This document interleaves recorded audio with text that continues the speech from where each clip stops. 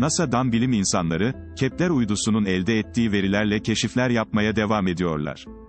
2018 yılında emekliye ayrılan Kepler'in elde ettiği verileri hala inceleyen bilim insanları, dünyadan 300 ışık yılı uzakta dünyaya benzeyen bir gezegen tespit ettiler.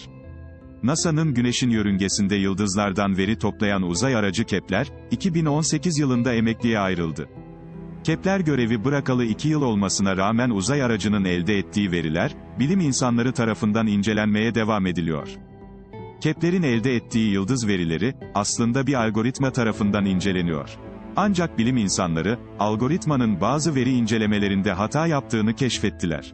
Bu nedenle algoritmanın sonuçları, bilim insanları tarafından kontrol ediliyor ve veriler yeniden gözden geçiriliyor. Verilerin bilim insanları tarafından yeniden incelenmesi sırasında dünyadan 300 ışık yılı uzakta, dünyaya benzer bir gezegen keşfedildi.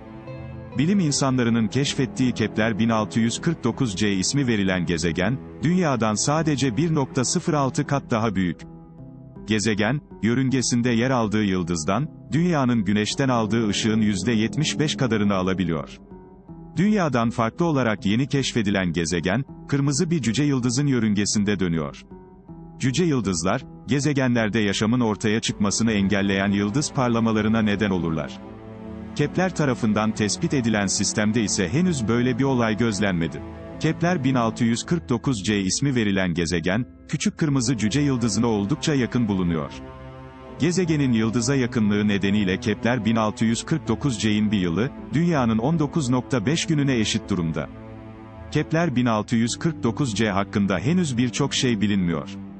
Bilinmeyen şeylerin başında ise gezegendeki sıcaklığın seviyesini belirleyecek olan atmosfer yer alıyor. Ancak buna rağmen elde edilen veriler, gezegenin yaşamı destekleme potansiyeline sahip olduğu yönünde. Yıldız sisteminde Kepler 1649c'in yanında bu gezegene benzer büyüklükte bir kayalık gezegen daha keşfedildi. Ancak bu kayalık gezegen, yıldızına Kepler 1649c'den yarım kat daha uzak bir konumda. NASA'nın Kaliforniya'da Ames Araştırma Merkezi'nden bilim insanları, Kepler uzay aracının elde ettiği büyük veri kümesini sıralamak için RoboVetor ismi verilen bir algoritma geliştirdiler. Bu algoritma, gezegenleri bulmak için gezegenlerin, yıldızların önünde geçerken oluşturduğu parlaklık düşüşlerini aradı. Yıldızların parlaklığındaki düşüşler çoğu zaman kozmik nesnelerin yıldızın önünden geçmesi gibi durumlarda meydana gelir. Algoritma, kozmik nesneleri dışarıda bırakarak gezegenlerin yıldızın önünden geçerken yaratacağı parlaklık düşüşlerini tespit ediyordu. RoboVetor, kozmik nesnelerin yıldızın önünde geçerken sağladığı bu parlaklık düşüşlerini yanlış pozitif olarak değerlendiriyordu.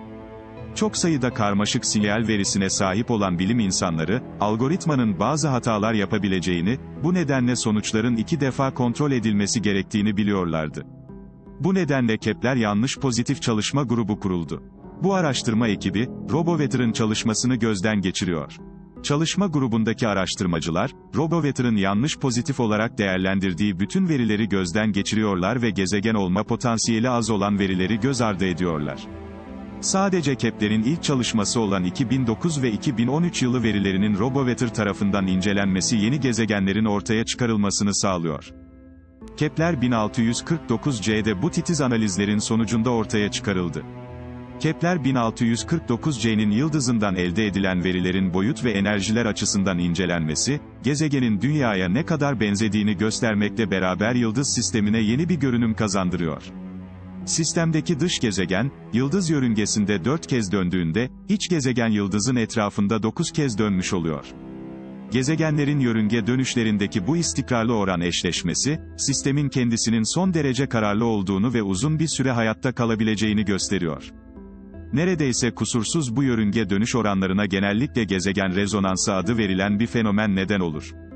Ancak keşfedilen iki gezegen arasındaki 9'a 4'lük yörünge dönüş oranı, nispeten benzersiz bir oran. Bu oranlar genellikle 2'ye 1 veya 3'te bir şeklinde gözlenir. Doğrulanmamış olmakla beraber gezegenlerin yörüngedeki bu benzersiz dönüş oranları, iki gezegenin arasında yer alan ve gezegen rezonansını etkileyen bir üçüncü gezegenin varlığına işaret ediyor olabilir. Üçüncü bir gezegenin varlığı belirlenememiş olmasına rağmen Kepler tarafından yakalanan dünya benzeri bir gezegen keşfedilmiş oldu. Aynı zamanda cüce bir yıldızın etrafında potansiyel olarak yaşam sağlayabilecek bir gezegenin varlığına dair kanıtlar bulunması da oldukça önemli.